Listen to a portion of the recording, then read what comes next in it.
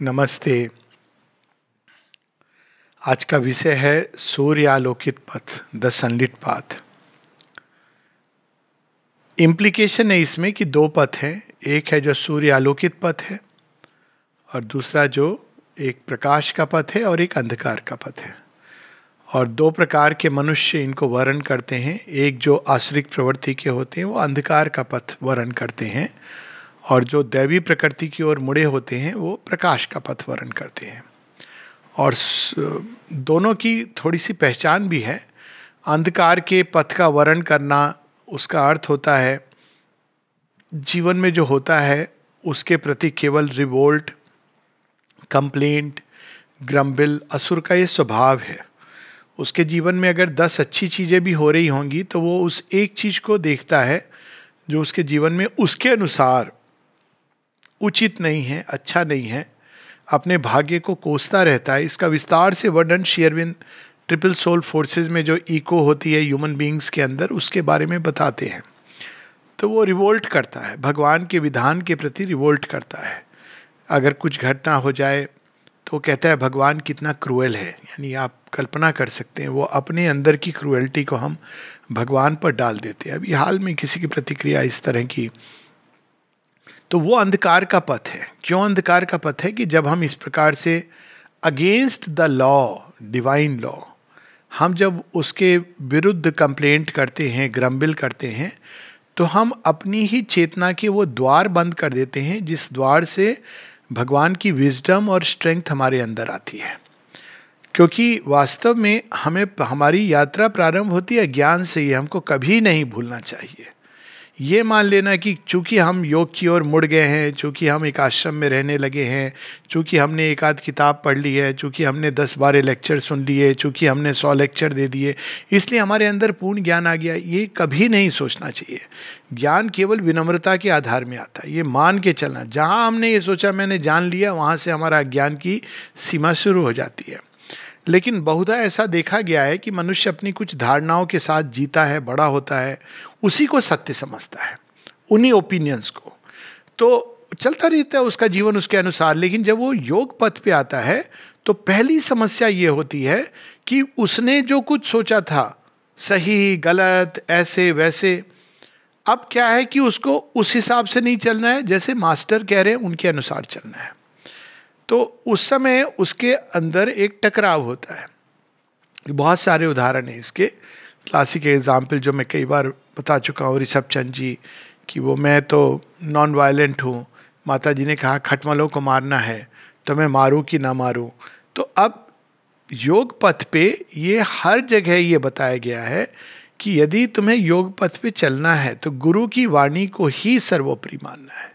इसको कुछ लोग बिलीव समझ सकते हैं, लेकिन ये बिलीफ नहीं है। इसके पीछे जो इम्प्लिसिट है वो ये है कि मुझसे अधिक गुरु जानते हैं। और वास्तव में अगर वो नहीं जानते तो फिर गुरु बनाने की, गुरु सोचने की ज़रूरत क्या है? फिर अगर वो हमसे अधिक जानते हैं, पथ पे वो चले हैं, उन्होंने देखा है, वो हमें कुछ बताते हैं तो वो सही है। हम, हमारी सोच को हम क्यों सही समझ रहे हैं? तो पहली कठिनाई वहाँ आती है, जहाँ हम अपने द्वार बंद करते हैं। और शेयरविंद के साथ हम देखते हैं कैसे कैसे लोग प्रश्न करते हैं, हर तरह के डाउट्स सो डाउट्स के द्वारा हम अंधकार में पथ की ओर बढ़ते हैं। असुर के, की प्रवृत्ति होती है, उसके अंदर श्रद्धा नहीं होती है।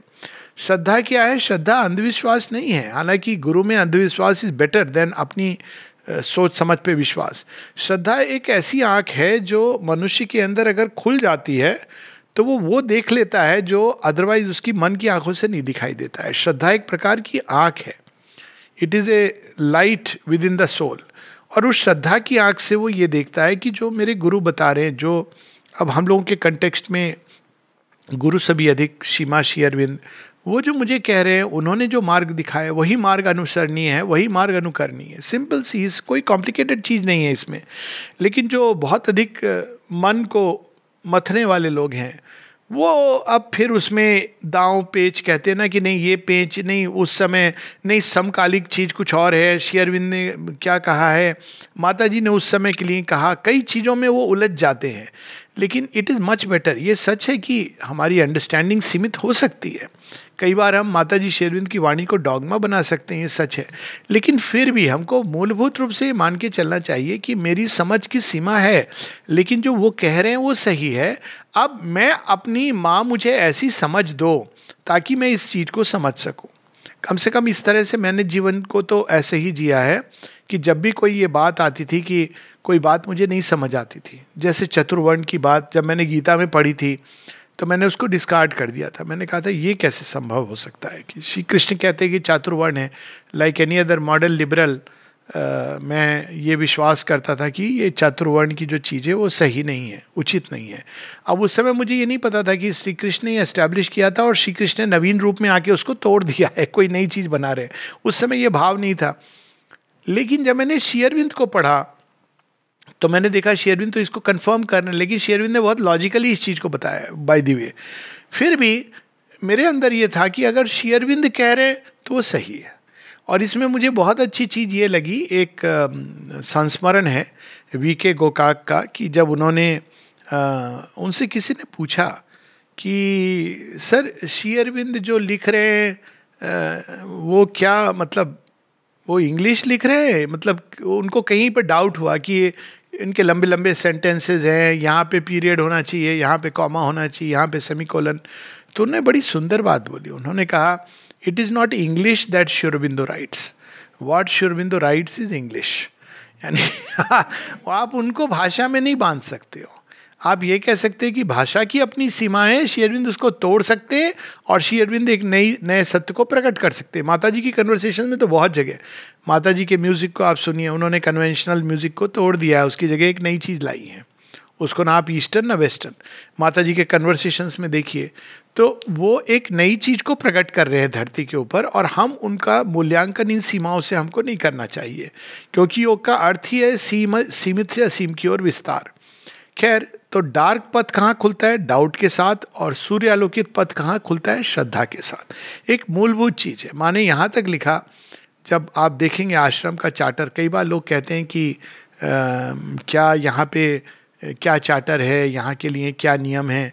नियम बहुत समय तक नहीं बनाए माने। केवल एक चीज़ शेरविन से कोई पूछता था तो कहते थे कि always live as if you're under the eye of the divine mother उन्होंने कोई नियम नहीं बनाए लेकिन आश्रम के जब आप ट्रस्ट डीड देखेंगे तो उसमें एक बड़ी इंटरेस्टिंग बात लिखी हुई है।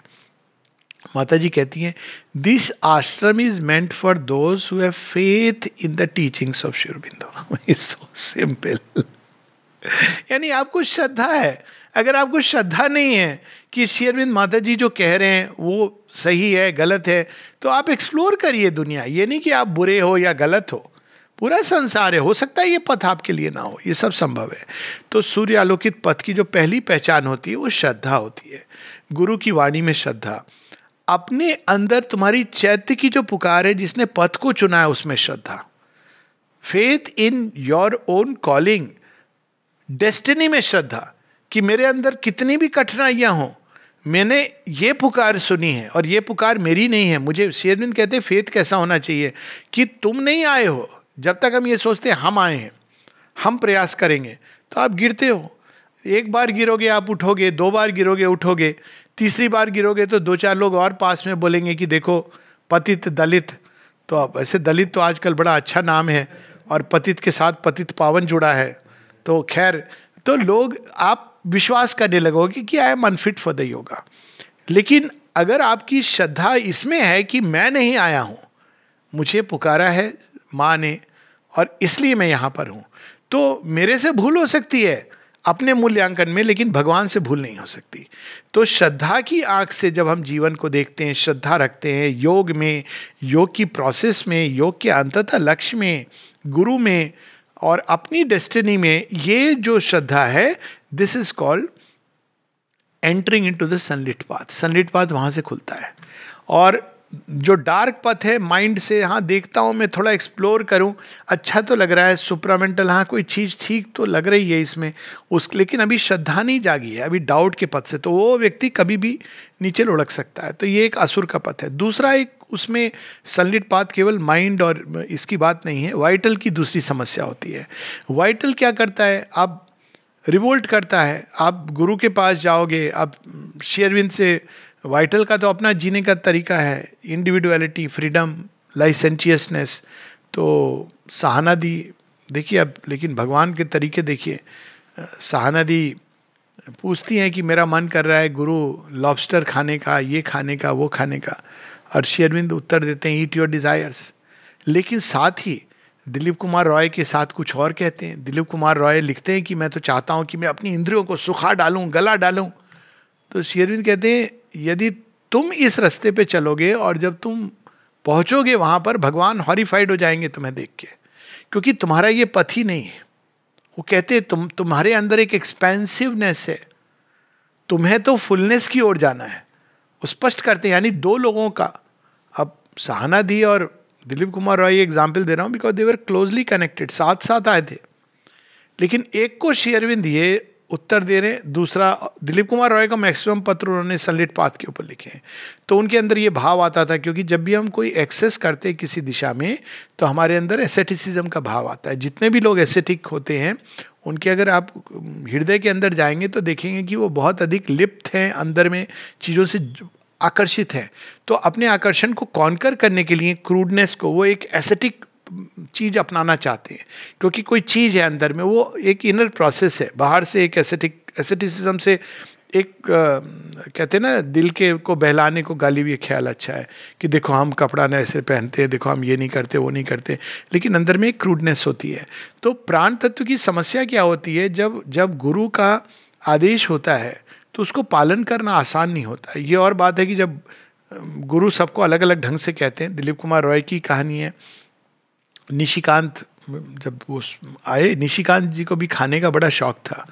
तो अब उनको ये लगता था कि अगर मैं योग पथ पे चलूँगा तो बाकी तो ठीक है, लेकिन मैं खाने पे कंट्रोल नहीं कर सकता हूँ। वो लास्ट तक उनका ही था, उनको कोई भी चीज़ पकड़ा दो, खा लेंगे। लिटरली मतलब कहा जाता है कि आपने पेट्रोल रख दिया, पास में भूख लगी तो he is of taking that रसगुल्ले की हंडिया एक एक साधक की अपनी कठिनाई होती है। तो वो, और सब बीमारियाँ उनके अंदर। और वो कहते थे कि मैं तो बीमारियों का एक एक्सपेरिमेंट कर रहे हैं भगवान मेरे ऊपर। कोई ऐसी बीमारी नहीं जो मेरे अंदर ना हो। लेकिन फिर भी वो सनलिट पाथ पे चलते थे। उनकी जो श्रद्धा थी ना, माँ में अटूट श्रद्धा थी। एक एक उदाहरण दे रहा हूँ कि एक और नेचर है जिसमें कठिनाइयाँ हो सकती हैं। शेरविंद बार बार बताते हैं दिलीप कुमार रॉय को कि हम क्यों तुम्हारी कठिनाइयों को नज़रअंदाज करते हैं? क्योंकि हम जानते हैं कि कोई भी व्यक्ति अपने लिए कठिनाई नहीं चुनता है। ये प्रकृति है जिसको उसके कई कारण हैं। वो बताते हैं कि ये ये नहीं कि कोई जानबूझ के कठिनाई चुनता है, मुझे ऐसा बना दो, मुझे बुरा आदमी बना दो, जो भी, हमारे अंदर ये डाल दो। ये प्रकृति का एक खेल है, लेकिन तुम जो हो, तुम्हारी जो सोल है, वो बिल्कुल डिफरेंट है। वो, ये हमेशा ये स्मरण रखना चाहिए। तो जब निशिकांत आते हैं तो अब भगवान भी देखो, भगवान का खेल है तो पहुँच जाते हैं वहाँ किनके दिलीप कुमार रॉय तो फिर राजा महाराजा की तरह जीने वाले व्यक्ति, पार्टी, रसगुल्ले, चाय, समोसा सब चल रहा है। तो जब वो उनके यहाँ आके देखते हैं, बोलते हैं, आश्रम में ये अलाउड है? अब उनको समझ नहीं आ रहा है। दिलीप कुमार रॉय तो यूजुअल, उनका तो प्राण तत्व इतना एक्सपेंसिव हमारे लिए तो अलाउड है। तो उन्होंने कहा कि, तब तो मैं रह सकता हूँ। ये अलाउड है तुम्हें। लेकिन अब देखिए, ये इसमें अगर एक दूसरे से दृष्टि से देखिए, अब क्या होता है? ये तो एक छोटी सी चीज़ है। लेकिन दूसरा ऐसी चीज़ है जो शेरविंद ने स्पष्ट कहा है कि ये डेंजरस है योग पथ पे। लेकिन व्यक्ति उसमें जा सकता है तो वहाँ पर एक डिजायर्ड सेल्फ जो है वो रिवोल्ट करता है। वो कहता है, लेकिन ये तो नॉर्मल है नेचुरल है, बहुत सारे तरह से हम जस्टिफाई करते हैं तो छोटी सी बात है, इसमें क्या हुआ? हज़ार तरीके से माइंड जस्टिफाई करता है। तो जब वो वाइटल तत्व रिवोल्ट करता है तो उसके अंदर जो प्रतिक्रिया होती है योग पथ में, बाहर में नहीं होती है। क्योंकि बाहर तो हम जीते हैं उसके अनुसार से। बाहर क्या होता है? हम डिज़ायर के द्वारा थोड़ी खुशी अपने जीवन में, रोज का जो इंजेक्शन होता है ना डोज ऑफ़ हैप्पीनेस वो कैसे होता है? डिज़ायर को सेटिस्फाई करके। चाहे वो एक टीवी प्रोग्राम हो, बच्चे के साथ कुछ टाइम हो जो भी फ्रेंड्स के साथ कुछ, तीन पत्ती, चार पत्ती शराब, जाना, ये, इस तरह लोग desire it's a very low kind of fuel जिसको लेके चलते हो ज़्यादा दिन चलता नहीं है, फिर उनको बार बार ज़रूरत पड़ती है धीरे धीरे उसमें बीमार होते बीमार होते तो भगवान को कर्ज कर देते हैं, ऐसे जीवन चलता रहता है, थोड़ा सुख, थोड़ा दुख, लेकिन जब योग में आते हैं तो वे चीज़ें जो नॉर्मल थी, वे चीज़ें अब आप, योग में आप किस कंपनी को रखते हो, ये इंपॉर्टेंट हो जाता है, अगर आप बाहर हैं तो कोई फ़र्क नहीं पड़ता है लेकिन अब जब योग में आते हैं तो इसीलिए संघ का कंसेप्ट है कि जो जो लोग इस पथ पे चल रहे हैं, उनके साथ में संपर्क रखना, सत्संग करना, जैसे मातृभवन में अभी ये प्रोग्राम होता है, लोग मिलते हैं तो ये इसलिए आवश्यक होता है ताकि उन लोगों के साथ एक सामाजिकता मनुष्य के अंदर होती है तो उन लोगों के साथ आपका संपर्क हो, जो आपकी इस फायर को पोषित करें, कम से कम उसको हार्म ना करें, क्योंकि अब आपस में यहाँ यहीं पर का एक एग्ज़ाम्पल ले लीजिए। अगर आप कहेंगे मेरे अंदर एक एस्पिरेशन नहीं मुझे मेडिटेशन जाना है आश्रम। कोई आपकी आ, कोई समस्या नहीं होगी। बाहर में अच्छा क्यों जा रहे हो? कहाँ जा रहे हो? क्यों इस तरह योग होता है? सच में ऐसा होता है? तो ये धूल और धुएँ का काम करते हैं। तो जब हम लोग इस पथ पे चलने की कोशिश करते हैं तो वाइटल रिवोल्ट करता है। और वाइटल जब रिवोल्ट करता है तो क्या करता है? वो डिप्रेशन की ओर ले जाता है। तो दूसरी जो चाबी एक चाबी है डाउट जो अंधकार की पथ की ओर ले जाता है। और फेथ जो हमको सूर्यालोकित पथ की ओर ले जाते हैं।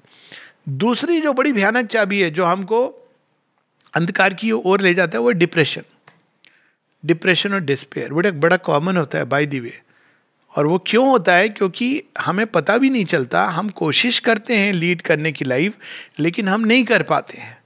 और जब नहीं कर पाते हैं तो हम फोर्सिबली कोई एलिमेंट को अपने अंदर दबा कर सुखा कर और अंदर में रिएक्शन होता है रिवोल्ट होता है डिप्रेशन होता है, इन सब के बारे में बहुत विस्तार से हम लोगों ने चर्चा भी की है। माता जी ने भी इसके बारे में बताया कि क्या करना चाहिए।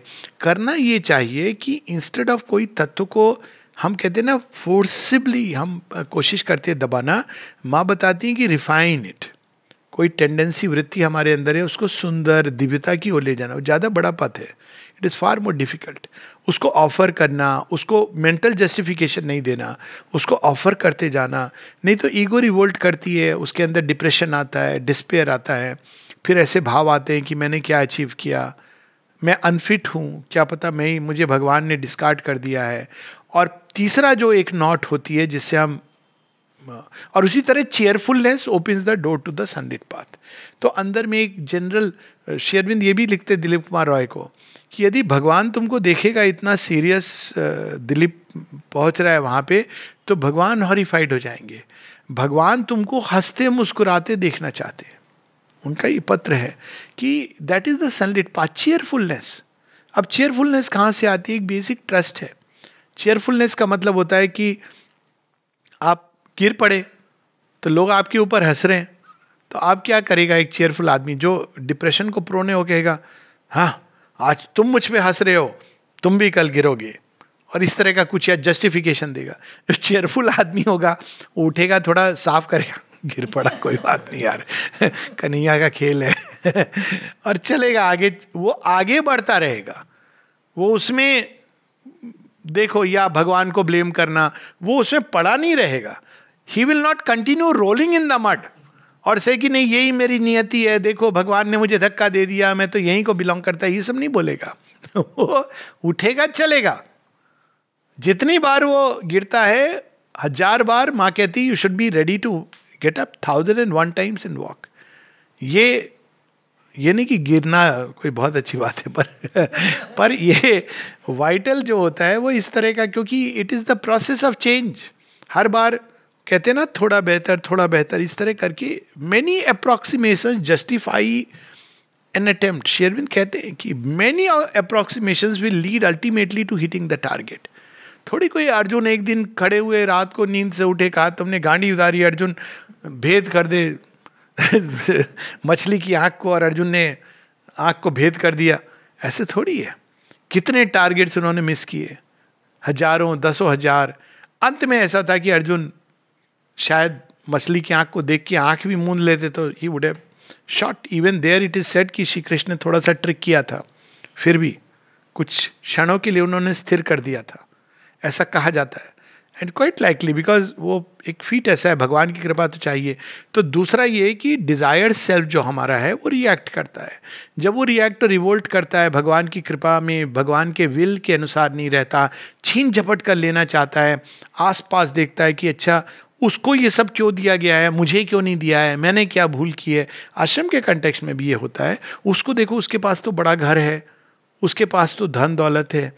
हमारे पास ये नहीं है। हर तरह की भगवान जानते हैं ना कि इसको क्या चाहिए। सनलिट पाथ का इसमें परफेक्ट उदाहरण है गंगाधरण जी। कई उदाहरण है। पर गंगाधरण जी के आप जानते होगे शायद, यहाँ तमिलनाडु के थे। एक बहुत, आश्रम में वो स्वीपिंग का काम करते थे। टॉयलेट वगैरह साफ़ करना। और उनके क्या अनुभव हैं? उनका किसी ने अगर सुना हो श्री अरविंद के 108 नामों की उन्होंने स्त्रोत्रावली लिखी है। उनके जो अनुभव होते थे, रियली माँ ने टेस्टिफाई किया है सुपरामेंटल एक्सपीरियंसेस। रहते कैसे थे? एक सीढ़ी है, ऊपर जा रही है, उसमें एक छोटा सा सीढ़ी के नीचे जगह होती है ना तो किसी ने वहाँ पे ब्रिलियंट आदमी, उसने वहाँ पे एक स्टोर हाउस जैसी एक जगह बना रखी थी। तो वो टॉयलेट क्लीनिंग गंगाधरन जी को वहाँ दे दिया था। तो रहते थे। एक दिन माता जी उस घर में आई तो ऊपर जा रही हैं तो गंगाधरन जी प्रणाम करके बाहर खड़े हैं। तो माँ ने देखा, कहा where you stay I stay here तो माँ जाती हैं, देखती हैं। माँ बहुत डांटती हैं कि ये ये कमरा दिया जाता है लोगों को इस तरह से। तो गंगाधरन जी कहते हैं, नहीं नहीं माँ, अब तो आपने दृष्टि डाल दी है इस घर में। मुझे यहीं रहने दो।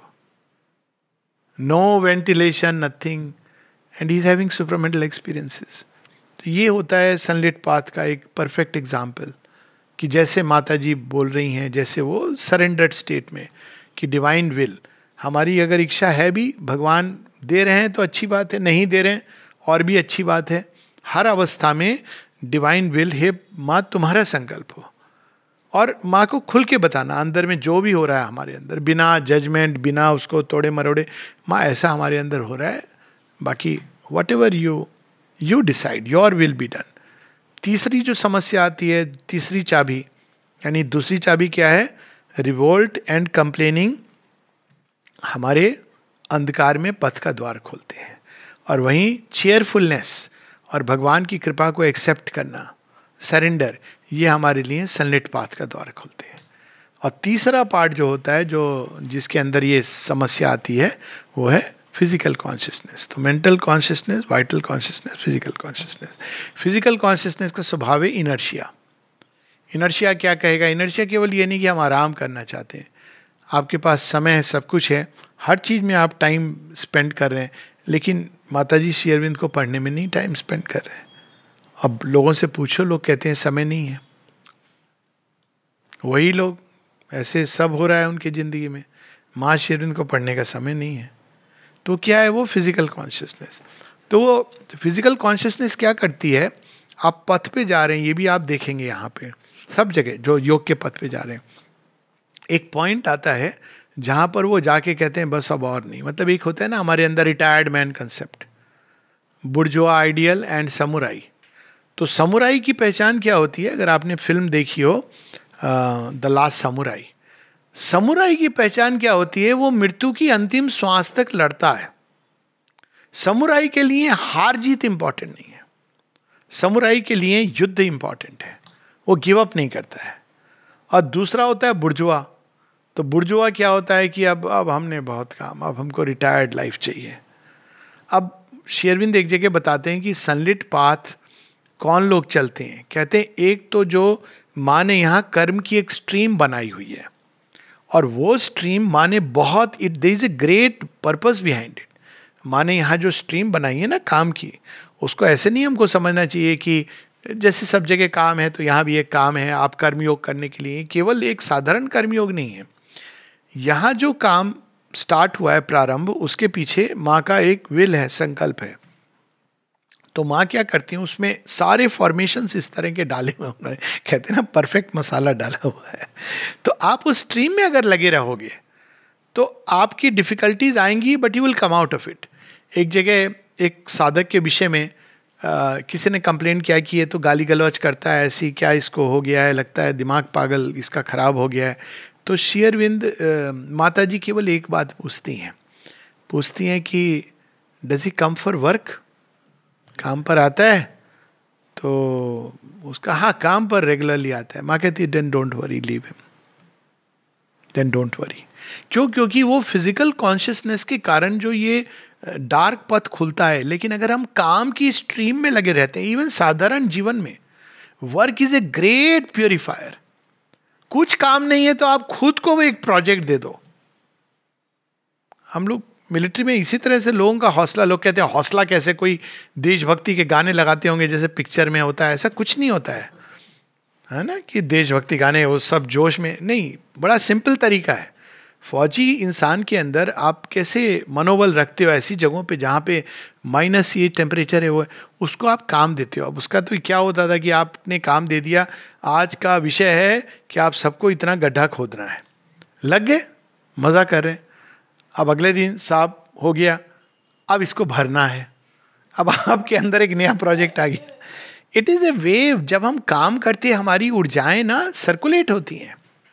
इवन ऑर्डिनरीली जीवन में काम करते रहने से हमारी ऊर्जाएँ सर्कुलेट होनी होनी, होती रहती हैं। काम इनर हो सकता है अकल्ट हो सकता है माता जी कहती हैं, काम इंटेलेक्चुअल एक्टिविटी हो सकती है, काम एक फ़िज़िकल एक्टिविटी और बहुधा सब चीज़ें जुड़ करके होती हैं। कोई एक डायमेंशन नहीं होता है। तो लेकिन उस पर कार्य की धारा में हमेशा बहते रहना चाहिए। अगर हम उसमें बहते रहते हैं तो हम हम धीरे धीरे डिफिकल्टी से दूर हो जाते हैं। और अगर हम उसमें नहीं बहते हैं, जहाँ ये कंसेप्ट आता है इनर्शिया का कि अब तो मैं कुछ काम नहीं कर सकता, योग्य हो गया। मैंने ये देखा है कई बार, मुझे तो आश्चर्य भी होता है कि वैसे ओल्ड एज होम उसका एक फ़ायदा भी होता है कि भाई आप अपनी हेल्प नहीं कर सकते हो तो। लेकिन मुझे लगता है इसका नुकसान भी होता है। माता जी ने ये चीज़ बताई है बड़े स्पष्ट रूप से, क्योंकि आपके अंदर ये भाव आ जाता है कि अब I am good for nothing और इससे अधिक अच्छा इसका दूसरा साइड है बिकॉज़ माँ ने ये सलाह दी कि डू सम वर्क तो अब लोग अपनी कुर्सी को पकड़ के रखते हैं, ये नहीं कहा है माँ ने बट डू सम वर्क कुछ वर्क नहीं आप कर पा रहे हो तो स्मरण करो, इससे बड़ा क्या है?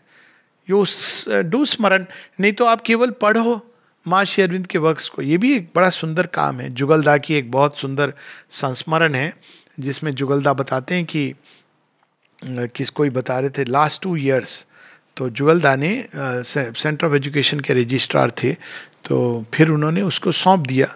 अभी तो झूमर दी हैं, पर वो धीरे धीरे वो ही वांटेड टाइम तो कहा, क्या क्या चाहिए?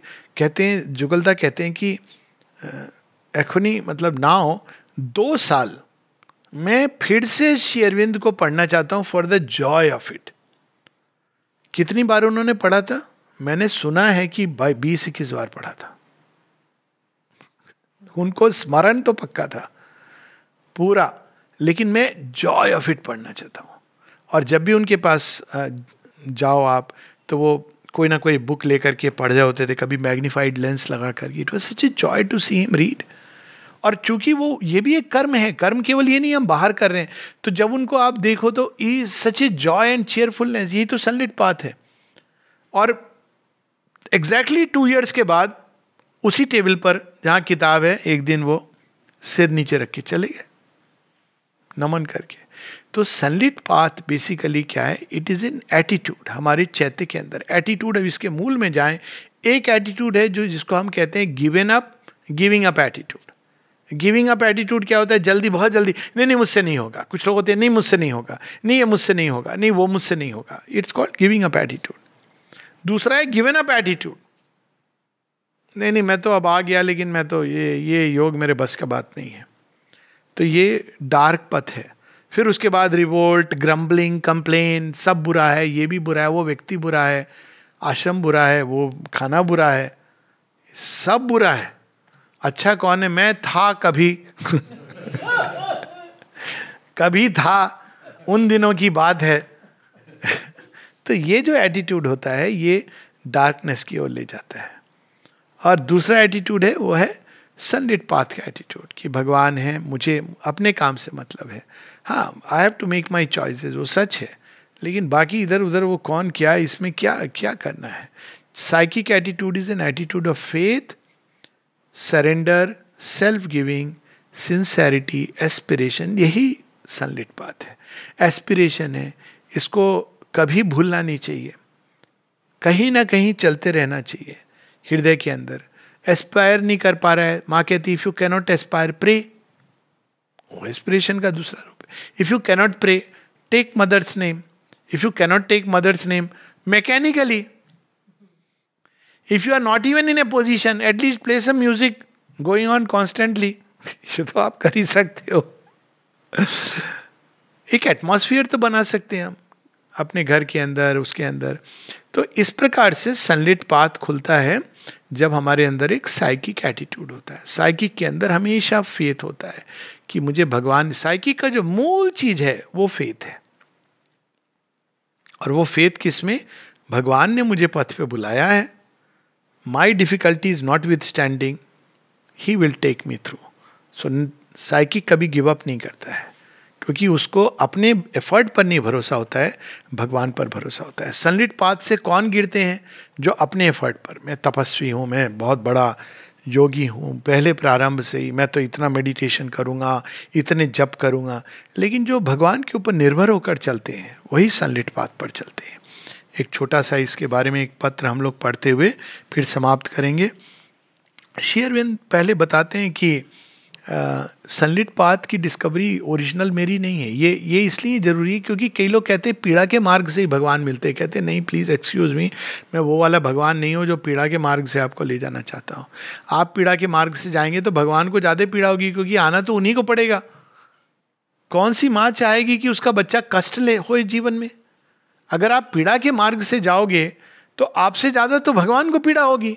He doesn't want the soul suffering is not key not the key तो वो कहते हैं कि ये चीज़ ऐसी है जो हमेशा लोग जानते थे। और इसका गीता में इस प्रकार से आता उल्लेख। शेरविंद उसको भी मेंशन करते हैं, ना जाने कौन से आई थिंक इस वॉल्यूम में या कहीं पर और। वो कहते हैं, पंथ दुरत्या, दुर्गा पथस्या। मतलब जो पंथ जो बहुत कठिन है, वो, गीता में वो बात होती जो अपने एफर्ट से। दैट इज़ वेयर आप गिर सकते हो, जो मंकी एटीट्यूड बेबी मंकी लेकिन दूसरा पथ जो समर्पण का है, ये पथ है जो सनलिट पाथ की ओर ले जाता है।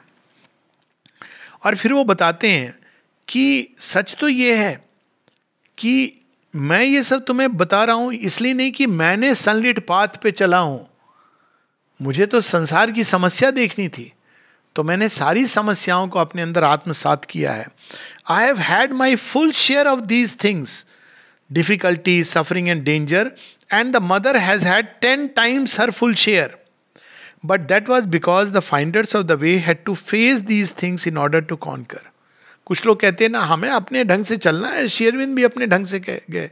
मैं इसको इस तरह से देखता हूँ कि जब कोई ब्रिज बना रहा होता है तो क्या क्या लगता है हम सब जानते हैं। प्लानिंग से लेकर एग्जीक्यूशन अब उसके बाद अब कुछ लोगों को जाना है उस पार।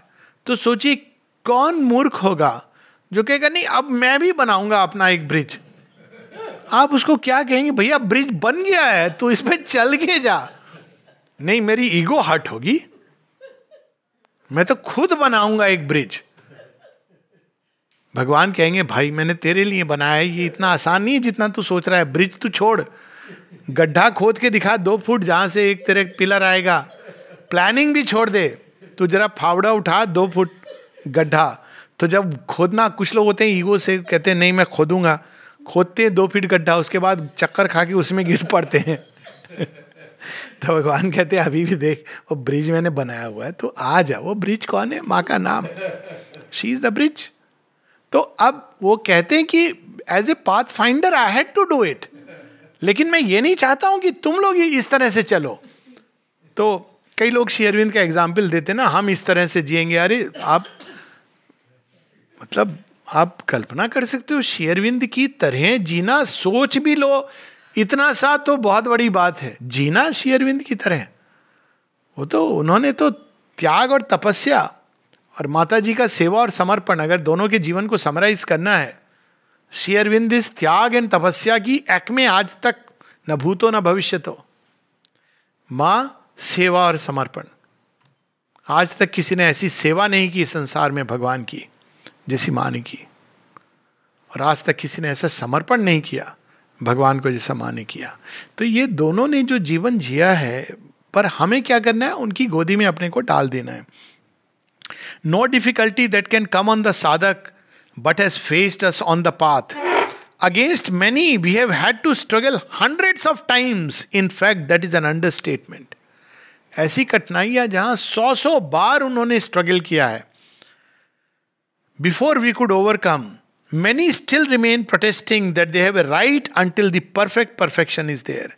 तो अल्टीमेट समस्याएँ जब पूरी तरह सुपर माइंड स्टैब्लिश हो जाता है चेतना में, बाहरी चेतना में, तब जाती है। तो ये अंडरस्टूड है कि कोई ना कोई चीज़ साथ में रहती है, हँसते खेलते जाना चाहिए।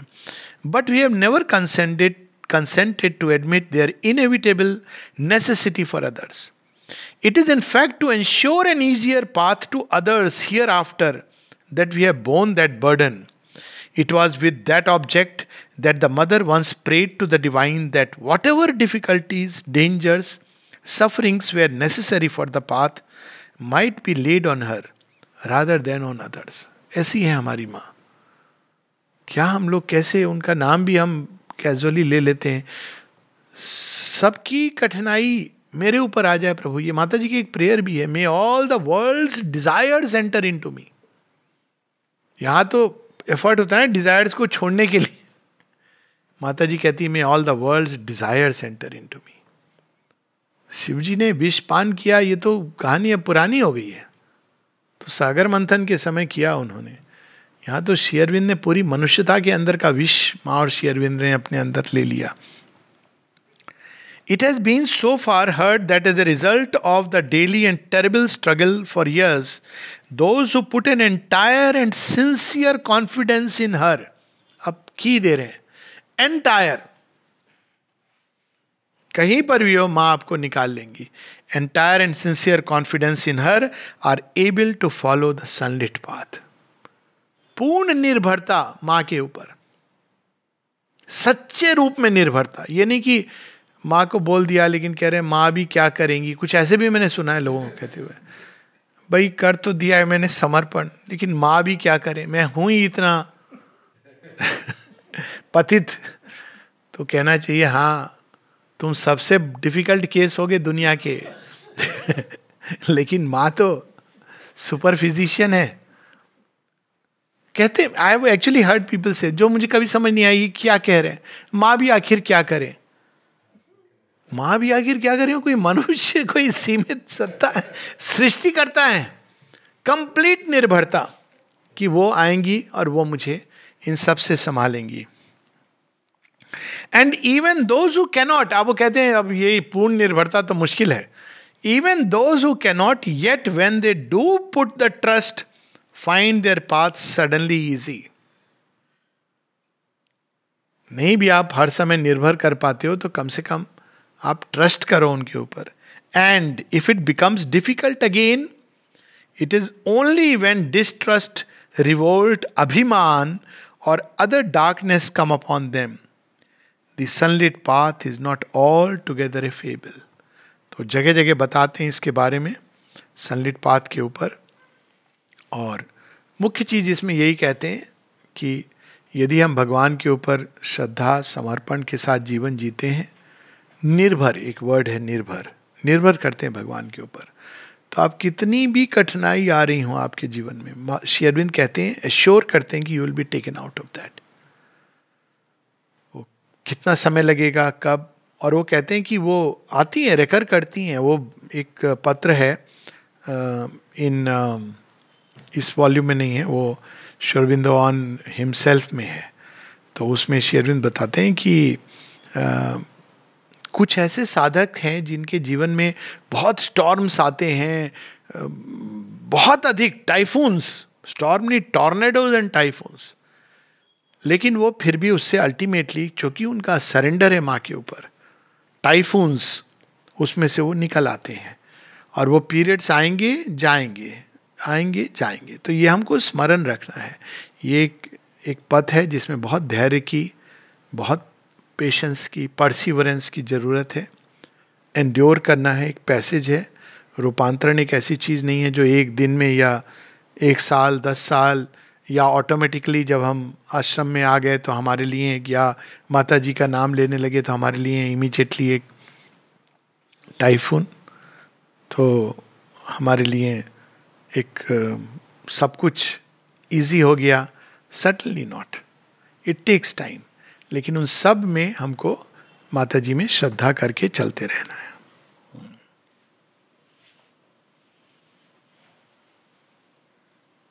हा। This sunlit way may be an illusion though I do not think it is for I have seen people treading it for years but a way with only natural और even only moderate fits of rough weather a way without typhoons surely is possible There are so many examples.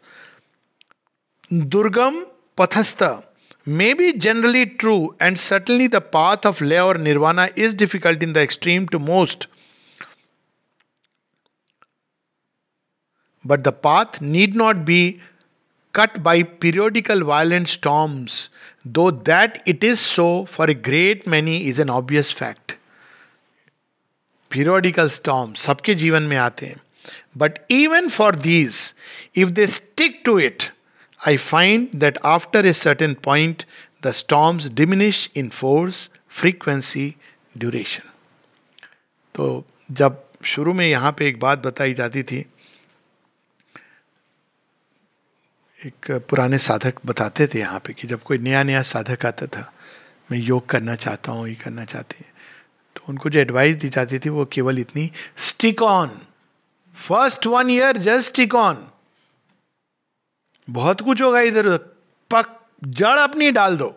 Stick on बहुत सारी चीज़ होंगी दिमाग में, अंदर, बाहर, जो आपको भगाने की कोशिश करेंगे। जस्ट स्टिक ऑन तो यहाँ पर वही कह रहे हैं, उसके साथ हम समाप्त करेंगे। That is why insisted so much on your sticking for if you stick the turning point is bound to come I I seen some astonishing instances here recently of this typhonic periodicity beginning to fade out after years and years of violent recurrence. तो आप कल्पना कर सकते हैं कि जो हमसे आगे गए हैं किस रास्ते से गए हैं May we all tread the sunlit path. Namaste.